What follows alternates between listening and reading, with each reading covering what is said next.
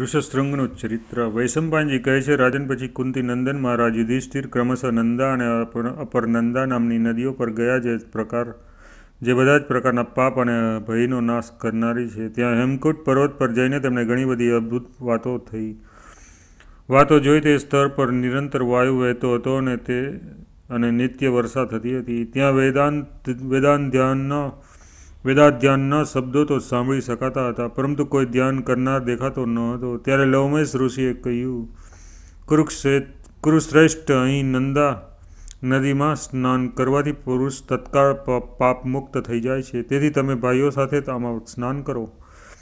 આ સાંભળીને યુધિષ્ઠિરે પોતાના ભાઈ અને સાથીઓની સહિત નંદામાં સ્નાન કર્યું અને પછી શીતળ જળવાળી અત્યંત રમ્ય અને પવિત્ર કૌશિકી નદીના કિનારે ગયા. ત્યાં લોમેશજીએ કહ્યું, ભરત શ્રેષ્ઠ આ પરમ પવિત્ર દેવનગરી. દેવ નદી કૌશિકી છે. આના તટ પર આ વિશ્વામિત્રજીનો રમણીય આશ્રમ દેખાઈ રહ્યો છે. અહીં મહાત્મા કાશ્યપ એટલે કે વિભાંડકનો આશ્રમ છે અને પુણ્ય, પુણ્યાશ્રમ કહે છે. મહર્ષિ વિભાંડકના પુત્ર ઋષક શૃંગ મોટા તે તપસ્વી અને જીતેન્દ્રિય છે. એકવાર અનાવૃષ્ટિના સમયે તેમણે પોતાના તપોબળથી વૃદ્ધિ, તપોબળની વૃદ્ધિ કરાવી દીધી. તે સમયે તેજસ્વી અને સમર્થ વિભાંડક કુમાર હરણીના ઉદરથી ઉત્પન્ન થયા હતા. યુધિષ્ઠિરે પૂછ્યું, ભગવાન, મનુષ્યનો પશુ જાતિ સાથે યોની સંસર્ગ થયો તો શાસ્ત્ર અને લોકો બંનેની દ્રષ્ટિમાં વિરુદ્ધ છે. પછી પરમ તપસ્વી કાશ્યપ નંદન ઋષિ હરણીના ઉદરથી કઈ રીતે જન્મ લીધો? તથા અનાવૃષ્ટિ થવાથી તે બાળકના ભયથી વૃત્તાસુરનો વધ કરનાર ઇન્દ્રએ કઈ રીતે વૃષ્ટિ કરી? લોમાસી બોલ્યા, રાજન, મહર્ષિ વિભાંડક મોટા સાધુ સ્વભાવના અને પ્રજાપતિ જેવા તેજસ્વી સ્વભાવના હતા. તેમનું વીર્ય અમોઘ હતું અને તપસ્યાને કારણે અંતઃકરણ શુદ્ધ થઈ ગયું હતું.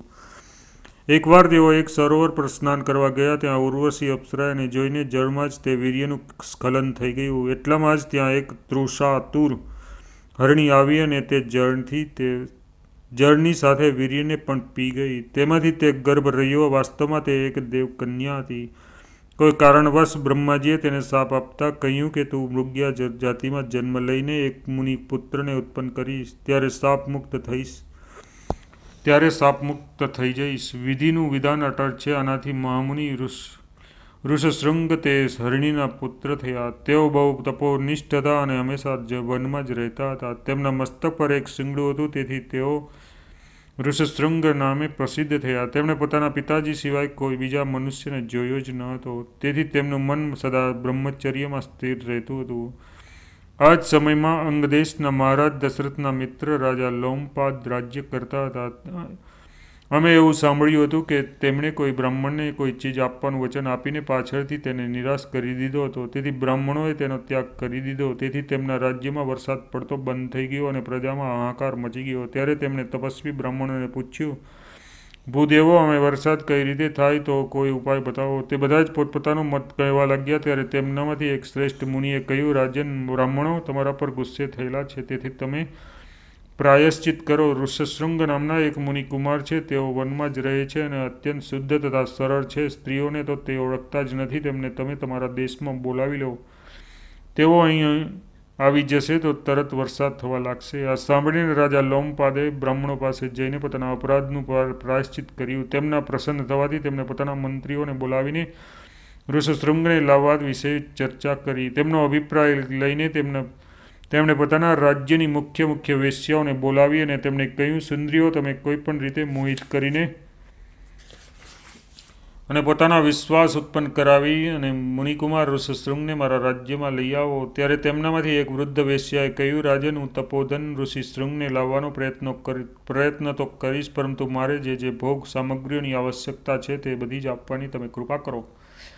ત્યારે રાજાનો આદેશ મળતા જ તે વૃદ્ધાએ પોતાની બુદ્ધિ અનુસાર નાવની અંદર એક આશ્રમ તૈયાર કરાવ્યો. તે આશ્રમને અનેક પ્રકારના ફળ અને ફૂલોમાં, ફૂલોના કૃત્રિમ વૃક્ષોની સજાવવામાં આવ્યો. ત્યાં જાત જાતની લતાઓ અને નાના નાના ઝાડવા છડા છવાયેલા હતા. તે નૌકાશ્રમ ખૂબ જ રમણીય અને મનોહર હતો. તેણે વિભાંડક મુનિના આશ્રમની થોડી દૂર તૈયાર કરાવીને ગુપ્તચરો પાસે તે પોતાનો એ વાતનો પતો મેળવ્યો કે મુનિવર કયા સમયે આશ્રમની બહાર જાય છે, પછી વિભાંડક મુનિની અનુ, અપ, અનુ, અનુપસ્થિતિમાં પોતાની વેશ્યા પુત્રીને બધી જ હકીકત સમજાવીને ઋષિ, ઋષસુંગ પાસે મોકલી તે વેશ્યાએ આશ્રમમાં જઈને તે તપોનિષ્ઠ મુનિકુમારના દર્શન કર્યા અને તેમને કહ્યું, મુનિવર, અહીં બધા જ તપસ્વીઓ આનંદમાં તો છે નહીં, તમે પણ કુશળ તો છો નહીં, તથા તમારું વેદાધ્યન તો સારી રીતે ચાલુ રહ્યું છે ને ઋષસુંગે કહ્યું, તમે ક્રાંતિને કારણે સામાન્ય તેજના સમૂહ જેવા લાગો છો.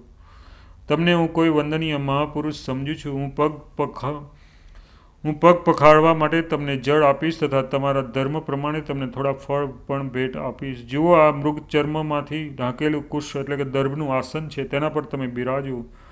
તમારો આશ્રમ ક્યાં છે અને તમે કયા નામે પ્રસિદ્ધ છો? વેશ્યા બોલી, કશ્યપ નંદન, મારો આશ્રમ, આ પર્વતની પેલી બાજુ અહીંથી ત્રણ કોષ દૂર છે. મારો એવો નિયમ છે કે હું કોઈને પ્રણામ કરવા દેતો નથી અને ન કોઈના આપેલા પાદ્યનો સ્પર્શ કરું છું. હું તમારા માટે પ્રણામ કરવા યોગ્ય નથી, બલકે તમે જ મારા વંદનીય છો. ઋષશૃંગ બોલ્યા, આ ભીલામાં અબળા ફાંસલા, ઇંગોરી અને પીપલી વગેરે પાકા ફળ રાખ્યા છે. તેમાંથી તમે તમારી રુચિ પ્રમાણે ગ્રહણ કરો. લોમેશજી કહે છે, રાજન તે વેશ્યાની પુત્રીએ તે બધા જ ફળોને તોડીને તેને પોતાની પાસેથી ખૂબ રસવાળા તેણે પોતાની પાસેથી ખૂબ રસવાળા, દર્શનીય અને રુચિવર્ધક સ્વાદિષ્ટ પદાર્થો આપ્યા. આ ઉપરાંત સુગંધિત માળાઓ ચળકતા અદ્ભુત વસ્ત્રો તથા ઊંચી જાતના શરબત પણ આપ્યા. તેને પ્રાપ્ત કરીને ઋષશૃંગ બહુ પ્રસન્ન થઈ ગયા અને તેમના હસવા હસવા રમવાની વૃત્તિ જાગૃત થઈ. આ પ્રમાણે તેમના મનમાં વિકારના અંકુર ફૂટતા જોઈને વિશ્યા તેમને અનેક રીતે મોહિત કરવા લાગી. પછી કેટલીક વાર તેમનું ગાઢ આલિંગન કરીને તેમની તરફ કટાક્ષભરી નજરે જોઈને અગ્નિહોત્રનું વાહનું કાઢીને ત્યાંથી ચાલી ગઈ. બે ઘડી વીત્યા પછી આશ્રમમાં કાશ્યપ નંદન વિભાંડક મુનિ આવ્યા. તેમણે જોયું કે ઋષશૃંગ એકલો ધ્યાનમાં બેઠો હોય તેમ બેઠો છે. તેના મનમાં સ્થિતિ બધી જ રીતે વિપરીત થઈ ગઈ છે. તે ઉપરાંત જોઈ જોઈને વારંવાર લાંબા શ્વાસ લે છે. તેની આવી દિનદશા જોઈને તેમણે કહ્યું, બેટા, આજે સાયંકાળમાં અગ્નિહોત્ર માટે ત્યાં સમાધિઓ સમિધાઓ તૈયાર બરાબર તૈયાર કેમ કરી નથી?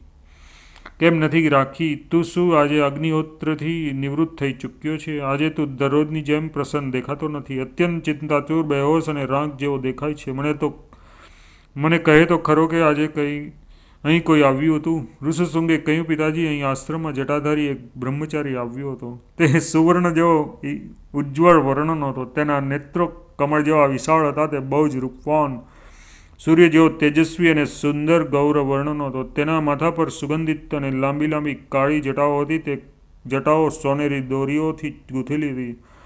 આકાશમાં જેમ વીજળી ચમકે છે, તે જ પ્રમાણે તેના ગળામાં સુવર્ણના આભૂષણો ચમકી રહ્યા હતા. ગળાની નીચે તેને બે માંસપિંડ હતા. તે રોમ હીન અને અત્યંત મોહ, મનોહર હતા. તે જ્યારે ચાલતો હતો, ત્યારે તેના પગમાંથી અદ્ભુત જણકાર થતો હતો અને મારા હાથમાં જેવી જ મારા હાથમાં જેવા આ રુદ્રાક્ષની માળા પહેરેલી છે તે જ પ્રમાણે તેના બંને હાથોમાં જણકાર કરતી સોનાની માળાઓ હતી. તેનું મોઢું પણ બહુ જ વિચિત્ર અને દર્શનીય હતું. તેની વાતચીત સાંભળીને સાંભળીને હૃદયમાં આનંદની લહેરો ઉછળી હતી. તેની કોયલ જેવી વાણી બહુ મધુર હતી. તેને સાંભળીને મારા હૃદયમાં સૂળ ભોંકાતી હતી. તે મુનિકુમાર તો શું હતો?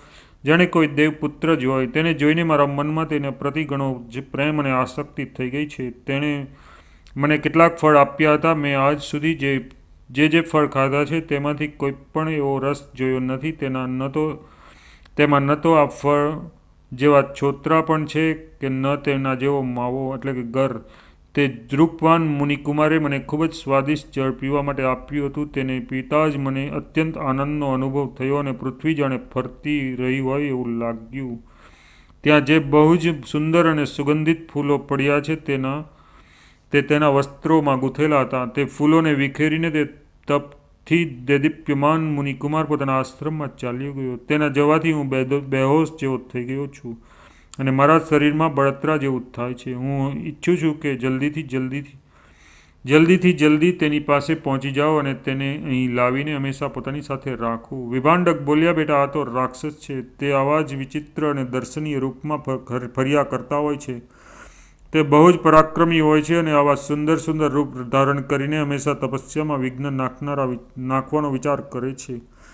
જે જીતેન્દ્ર મુનિને ઉત્તમ લોકમાં જવાની ઈચ્છા હોય તેને આમનો સાથ ન કરવો જોઈએ. આ બહુ પાપી હોય છે અને તપસ્વીઓને વિઘ્ન પહોંચાડીને રાજી થાય છે. તપસ્વીઓ એ તો તેમની સામે આંખ ઊંચી કરીને જવું ન જોઈએ. બેટા, તું જે ઈચ્છીશ સ્વાદિષ્ટ પીણાની વાત કરે છે, તેને તો દુષ્ટ લોકો પીએ છે અને તે જ આવી રંગબેરંગી, સુગંધિત માળો પહેરે છે. આ વસ્તુઓ મુનિઓ તો માટે કોતી જ નથી. આ રાક્ષસો છે એમ કહીને વિભાંડક મુનિએ પોતાના પુત્રને રોકી લીધો અને સ્વયં તે વેશ્યાને શોધવા લાગ્યા. જ્યારે ત્રણ દિવસ સુધી તેનો કોઈ પતો ન મળ્યો, ત્યારે તેઓ આશ્રમમાં પાછા આવ્યા. ત્યાર પછી જ્યારે સ્ત્રોત્ર વિધિ પ્રમાણે વિભાંડક મુનિ ફરી ફળ લેવા માટે ગયા ત્યારે તે વેશ્યા ઋષસંઘને ફસાવવા માટે ફરી આવી. તેણે જોઈને ઋષશૃંગ ખૂબ પ્રસન્ન થઈ ગયા અને રઘવાયા થઈને તેની પાસે દોડી આવ્યા. તેણે કહ્યું, જેઓ પિતાજીના અહીં આવવા, આવતા પહેલાં જ હું તમારા આશ્રમમાં આવું છું. એ રાજાના આ યુક્તિથી વિભાંડક મુનિના એકમાત્ર પુત્ર ઋષસંઘ તે માં બા, માં દીકરીની નાવ પર ચડાવી દીધા અને જાત જાતના ઉપાયોથી તેમને આનંદિત કરીને અંગરાજ, લોમપાદ લોમપાદની પાસે લઈ આવી. અંગરાજ તેમને પોતાના અંતઃપુરમાં લઈ ગયા. એટલામાં જ તેમણે જોયું કે એકાએક વરસાદ આવવા લાગ્યો અને ચારે બાજુ પાણી પાણી થઈ ગયું. આ પ્રમાણે પોતાની મનોકામના પૂરી થવાથી રાજા લોમપાદે તેમની સાથે પોતાની કન્યા શાંતાના લગ્ન કરાવી દીધા. અહીં જ્યારે વિભાંડક મુનિ ફળ ફૂલ લઈને આશ્રમમાં આવ્યા ત્યારે ઘણું શોધવા છતાં તેને પોતાની પુત્ર જોવા ન મળ્યો. આથી તેને ભારે ક્રોધ થયો અને એવી શંકા થઈ કે આ બધું જ ષડયંત્ર અંગરાજનું રચેલું છે. તેથી તેઓ અંગરાજને તેના નગર તરફ રાષ્ટ્ર સહિત ભસ્મ કરી નાખવાના વિચારથી ચંપાપુરી તરફ ચાલ્યા. રસ્તામાં ચાલતા ચાલતા જ્યારે તેઓ થકી ગયા ત્યારે અને તેમની ભૂખથી પીડા થવા લાગી ત્યારે તેઓ સમુદ્ર સમુદ્ર ગોવાળોના આવાસોમાં ગયા. ગોવાળોએ રાજાઓના જેવા તેમનો બહુ આદર સત્કાર કર્યો. રાજાઓના જેવા તેમનો બહુ આદર સત્કાર કર્યો અને ત્યાં તેમણે એક રાત વિશ્રામ કર્યો. જ્યારે ગોવાળોએ તેમની અત્યંત આગતા સ્વાગતા કરી, ત્યારે તેમણે પૂછ્યું, કેમ ભાઈ, તમે કોના સેવક છો? ગોવાળોએ કહ્યું, આ બધી જ તમારા પુત્રની જ સંપત્તિ છે. આ પ્રમાણે ઠેર ઠેકાણે સત્કાર પામવાથી આ બધા જ આવા મધુર વચનો સાંભળીને તેઓ ઉગ્ર ક્રોધ શાંત થઈ ગયો અને તેઓ પ્રસન્ન ચિત્તે અંગરાજ પાસે પહોંચ્યા. નરશ્રેષ્ઠ લોમપાદે તેમનું વિધિપૂર્વક પૂજન કર્યું અને તેમણે જોયું કે સ્વર્ગ સ્વર્ગલોકમાં જે રીતે દેવરાજ ઇન્દ્ર રહે છે, તે જ રીતે અહીં તેનો પુત્ર વિદ્યમાન છે. સાથે સાથે તેમણે વીજળી જેવી તેજસ્વી પોતાની પુત્ર વધુ શાંતાને પણ જોઈ. પુત્રને એ અનેક ગામો અને આવાસો મેળવવા મળેલા જોઈને તથા શાંતાને જોઈને તેઓ બધો જ ક્રોધ ઉતરી ગયો. પછી તેના પછી તો જેમાં રાજા લોમપાદની વિશેષ પ્રસન્નતા હતી તે જ કામ તેમણે કર્યું. પુત્રને ત્યાં મૂકીને તેમણે તેને કહ્યું, જ્યારે તારે ત્યાં પુત્ર ઉત્પન્ન થશે, ત્યારે જા, ઉત્પન્ન થઈ જાય, ત્યારે રાજાને બધી જ રીતે મનાવી, સમજાવીને વનમાં ચાલ્યો આવજે. ઋષશૃંગ પણ પિતાની આજ્ઞાનું પાલન કરીને પછી તેમની પાસે ચાલ્યા ગયા. શાંતા પણ બધી જ રીતે પતિને અનુકૂળ આચરણ કરતી હતી, તે પણ વનમાં રહીને તે તેમની સેવા કરવા લાગી. જે રીતે સૌભાગ્યવતી, અરુંધતી વશિષ્ઠની લોપામુદ્રા, અગસ્તની અને દમયંતી નળની સેવા કરતી હતી તે જ પ્રમાણે શાંતા, શાંતાએ પણ અત્યંત પ્રેમપૂર્વક પોતાના વનવાસી પતિદેવની સેવા કરી. આ પવિત્ર કીર્તિનો આશ્રમ તે જ ઋષસુંગનો છે. તેના કારણે તેની પાસે આવેલા વિશાળ સરોવરની શોભા પણ વધી ગઈ છે. આમાં સ્નાન કરીને તમે કૃતકૃત્ય અને શુદ્ધ થઈ જાઓ. પછી બીજા તીર્થોની યાત્રા કરજો.